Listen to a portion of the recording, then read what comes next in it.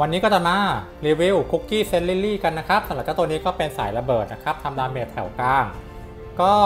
อันดับแรกไปดูกันที่ skill นะครับ 15 วินาที ปล่อยดอกลิลี่เบ่งบานนะครับสร้างความเสียหายต่อเนื่อง ให้แก่ศัตรูเป็น skill หมู่ สร้างความเสียหายเพิ่มเติมตามจำนวน buff ของตัวเองนะครับ ถ้า buff ยิ่งเยอะก็คือยิ่งตีแรง แล้วก็ศัตรูที่โดนนะครับจะติดเถาวัลย์ไม่สามารถเคลื่อนที่ แล้วก็ใช้ skill ได้ แล้วก็จะมี buff การรักษาแห่งลิลลี่นะครับทำงานทุกครั้งที่เกิด debuff ขึ้นกับตัวเอง และคุกกี้เพื่อนร่วมทีม ซึ่งหาก buff ที่มีชื่อว่าการรักษาแห่งลิลลี่เนี่ยซ้อนทับครบจำนวนที่กำหนดนะครับจะสามารถลบล้าง debuff ของคุกกี้ทั้งทีมได้ แล้วก็ฟื้นฟู heal เพิ่มเติมอีกนะครับแล้วก็พลังแห่งลิลลี่จะทำให้ไม่ได้รับเห็ดและสปอร์ อันนี้เป็นความสามารถที่ใช้ในการลุยบีจีนะ ก็จะไม่เกี่ยวกับ arena แล้วก็ skill นะครับจะเป็นความเสียหาย 3 ครั้ง ภายในระยะเวลา 1.2 วินาทีนะครับ ต่อ1ครั้งคือ 343 ก็ 3 ครั้งก็ประมาณพันกว่าๆใช่ไหมแล้วก็สร้างความเสียหายเพิ่มเติมต่อคุกกี้นะครับ คือเป็นสัดส่วนพลังชีวิตสูงสุดนะ 22.5%อันเนี้ยจะไม่ใช่ true damage นะครับ แต่ว่าก็ถือว่าแรงแหละเพียงแต่ว่ามันจะติดลดเสียหายกับป้องกันได้ แล้วก็จะมีเสียหายเพิ่มเติมตามจำนวน buff ด้วยนะครับ 15%ต่อ 1 อัน โดยปกติ buff ปัจจุบันน่าจะมีอยู่ที่ประมาณ 20-30 มั้ง ก็ถ้าคูณแล้วก็จะเนี่ยmax สุดจะไม่เกิน 500%นะครับ เมื่อนับทบกันหมดแล้วเนี่ย damage รวมๆก็ได้จะประมาณ 2,000%นะครับบวกกับที่เป็นเปอร์เซ็นต์เลือดด้วย แล้วก็จะมีเจาะเกราะนะครับ เพิ่มเกิดต่อการลดเสียหายอะอธิบายเรื่องของการเจาะเกราะนิดนึงนะครับ มันเป็นการตัดทอนนะครับของลดเสียหายสมมติลดเสียหายศัตรูมีอยู่ประมาณ 30%อย่างเงี้ย มันจะลดทอนไป 30%ใช่ไหมก็จะเหลือแค่ประมาณ 18เราละนะ18% 20%นะครับแต่ว่าจะไม่ติดป้องกันนะครับ เพราะค่าป้องกันจะลดไม่ได้นะ แล้วก็เถาวัลย์เนี่ยจะตรึงเป้าหมายนะครับ ก็คือเป็นใบ้นะใช้ skill ไม่ได้ 2.5 วิ แล้วก็ตรึงนี่น่าจะหมายถึงว่าลดการเคลื่อนที่ใช่ไหมอ่าเนี้ยเมื่อสิ้นสุดนะครับ แล้วมีภูมิคุ้มกันจะลดการเคลื่อนที่ 80%ก็คือเดินช้าลงแต่ว่าไม่ค่อยมีผลเท่าไหร่หรอกใน arena เพราะว่าส่วนใหญ่มันไม่ค่อยได้เดินกันเท่าไหร่หรอกใช้โจมตีอัด skill ใส่กรรัว8วินาทีนะครับแล้วก็มีความเสียหายเพิ่มเติมอีก 25%ซ้อนทับ1 stack แล้วก็กรณีที่ภาวะสิ้นสุดแล้วก็ศัตรูมีภูมิคุ้มกันนะครับต้าน debuff ทั้งหลายอะ ก็คือจะโดน damage เพิ่มแรงเพิ่มไปอีก 155%นะครับ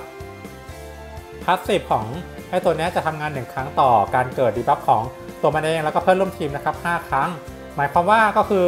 ไอ้ที่มันเป็นสัญลักษณ์สีแดงๆ debuff บนหัวนะครับ ต่อ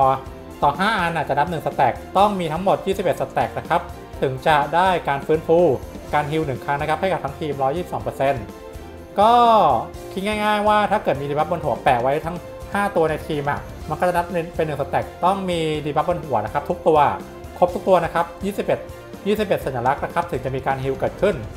อันนี้คือกรณีถ้าเกิดมีสแนปในทีมที่มันไม่ติด debuff อยู่แล้วเนี่ย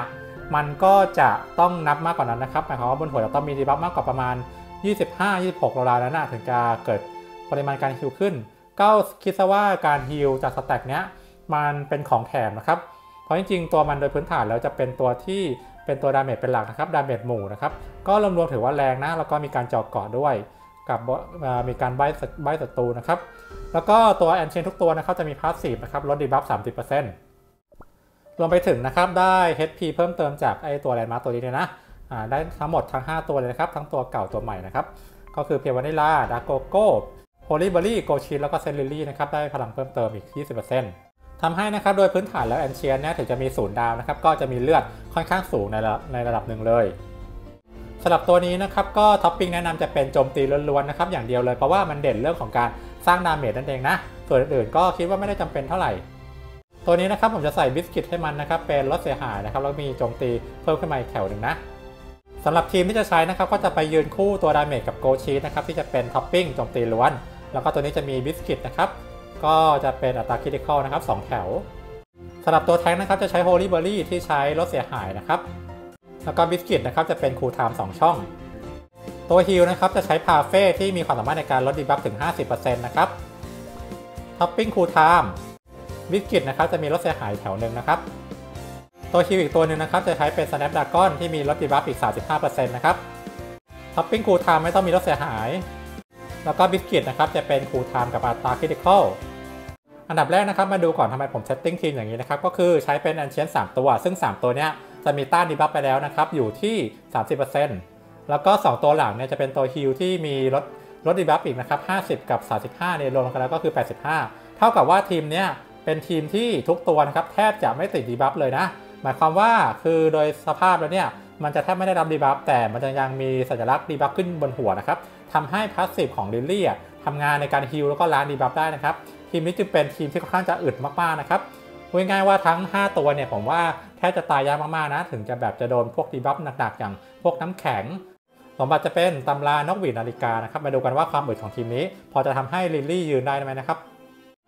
ท็อปปิ้งนะครับก็ทำงี้นะลดเสียหายโจมตี 2 แล้วก็ cooldown 2ตัว ไปเดี๋ยวไปลุย arena นะครับได้ยาวๆกันเลยว่า พอจะเล่นได้ไหม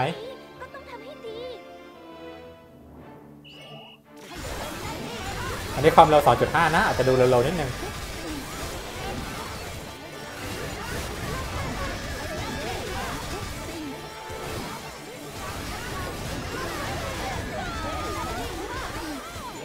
รอบแรกลิลลี่แตกไปแล้วนะ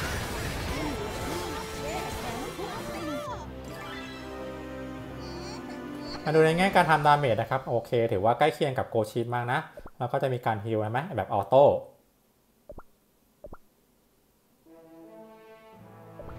ต่อไปเป็นทีมนี้นะครับ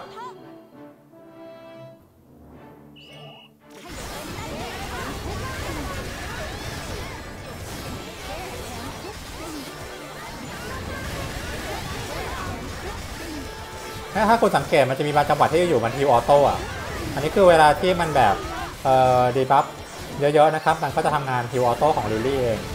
แต่ว่านั่นแหละพอรวมแล้วตัวฮิว3ตัวนะครับ ก็ยังไม่เพียงพอที่จะยื้อชีวิตนะ เพราะยังไงก็ตาม arena ในปัจจุบันก็ยังถือว่า damage ค่อนข้างหนักนะครับ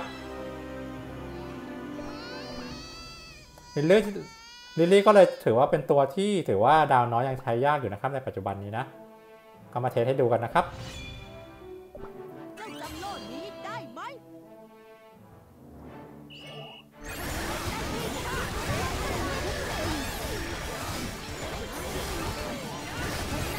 แต่เอาจริงแค่มันยืนได้ 2-3 wave เนี่ยผมก็ถือว่าค่อนข้างจะเซอร์ไพรส์แล้วนะสำหรับตัวที่ศูนย์ดาวแบบเนี้ยอ่าอันนี้ยืนได้ตลอดรอบฝั่งนะครับ ถ้ายืนได้ตลอดเนี่ย damage ค่อนข้างจะจัดเลยนะคุณดูนะ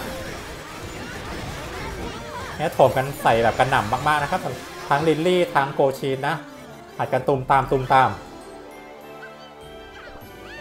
เห็นไหมถ้าเกิดยืนได้เต็มที่นะครับ damage ไม่ไม่น้อยหน้าโกชีสเลยนะครับ แล้วก็มีการ heal auto ด้วย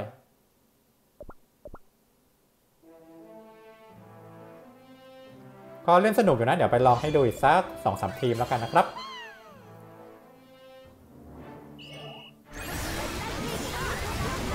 จริงๆ ผมอยากจะใส่เป็น Ancient ทุกตัวเลยนะ แต่ว่ามันจำกัดแค่สามนะครับ ก็เลยใส่มาได้แค่นี้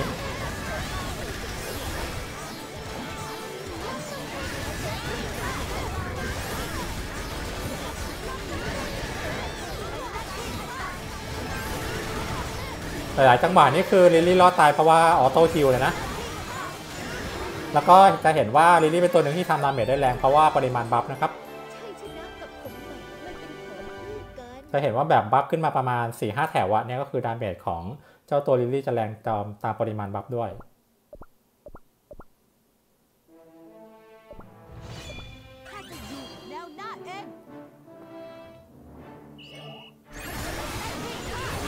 จริงๆฮอลลี่เบอร์รี่ยังถือว่าใช้ใช้ได้อยู่ในปัจจุบันนะ เพราะว่ามันก็โฟกัส damage ให้กับเพื่อนร่วมทีมอะ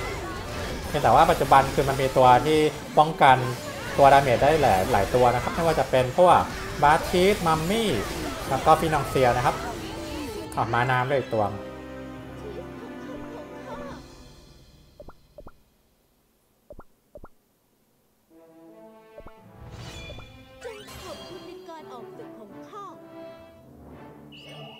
ก็สนุกดูนะ สนุกดีนะสำหรับทีมนี้มันแบบลุกลับพลิกผันนะขึ้นอยู่กับจังหวะจริงๆ ถ้าเกิดแบบจังหวะเรา auto heal ขึ้นมาทันอย่างเงี้ย แล้วโจมตีแบบโถมเข้าไปรัวๆก็ชนะได้อยู่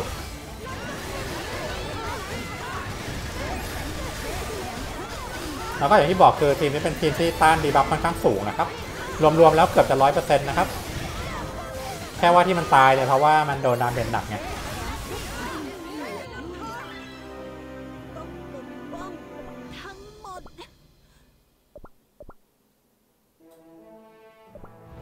อันนี้ทีมสุดท้ายนะครับอ่าอันนี้เจอกับทีมตีไวนะครับ มาดูว่ารอดไม่รอดนะ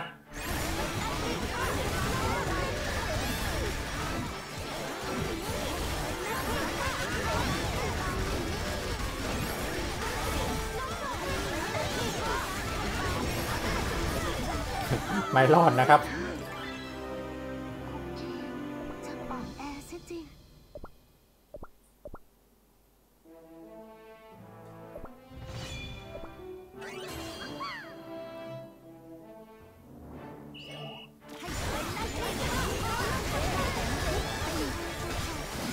แล้วถ้าเกิดแบบจังหวะที่มันไม่ปาฏิหาริย์นะ auto heal กันมาก็นึงก็คือแตกก็คือแตกไปเลยนะครับสำหรับเจ้าลิลลี่เนี่ยก็แปลว่าเป็นของเล่นใหม่สำหรับคนที่แบบสามารถปั้นดาวได้สูงๆอะ ถ้าดาวสูงก็เล่นได้นะ แต่ถ้าเกิดดาวน้อยก็ประมาณนี้แหละ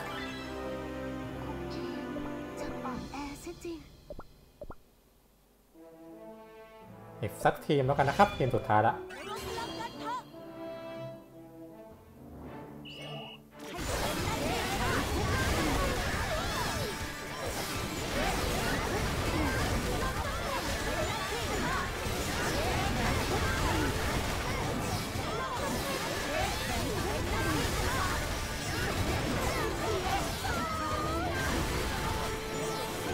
กือบชนะเหมือนกันนะจริงเมื่อกี้จังหวะที่ศัตรูเกือบแตกแต่ว่านั่นแหละพอเขาเคาน์เตอร์กลับมาก็เละยังไงก็ยังเป็นตัวที่มี damage ค่อนข้างจะหนักเลยนะ ขึ้นอยู่กับปริมาณ buff แล้วก็มี auto heal ช่วยยื้อได้ในบางครั้ง ก็โดยรวมนะครับสำหรับเจ้าเซนต์ลิลลี่เนี่ยผมคิดว่า ถือว่าดีแหละ แต่ว่ามันยังต้องแก้ปัญหาในเรื่องของการยืนให้ได้ ถ้ายืนได้ก็คือการ damage โดยรวมถือว่าค่อนข้างดีนะครับสำหรับเจ้าเซนลิลลี่ ก็ประมาณนี้นะครับสำหรับวันนี้ ผมปิกซี่ขอตัวลาไปก่อน สวัสดีครับ